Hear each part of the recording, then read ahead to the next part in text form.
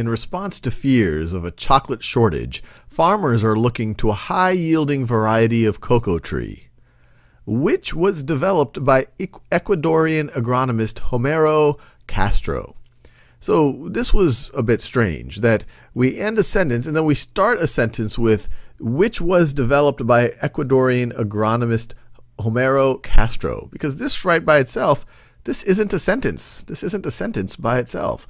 This feels like this which is referring, it's, it's giving us more, more explanation of this high yielding variety of cocoa tree. So I definitely don't want to separate it as a separate sentence. So I'm, going I, I'm to change it. So I'm to scratch out no change. So let's look at this choice. So this says, farmers are looking to a high yielding variety of cocoa tree, comma, which was developed by Ecuadorian agronomist Homero Castro. So this one feels quite good. I would use a comma and just go straight to the which. So this one looks right. So let's let's look at the other choices.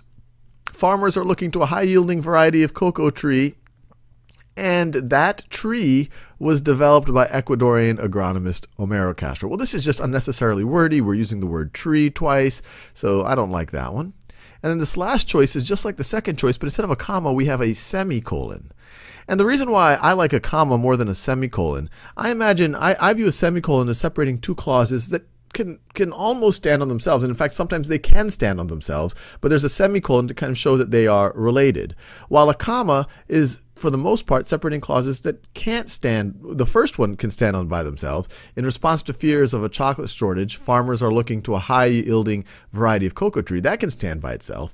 But the second clause has trouble standing by itself. In fact, it can't stand as a sentence, which was developed by Ecuadorian agronomist Homero Castro. So I feel good about the comma right over here.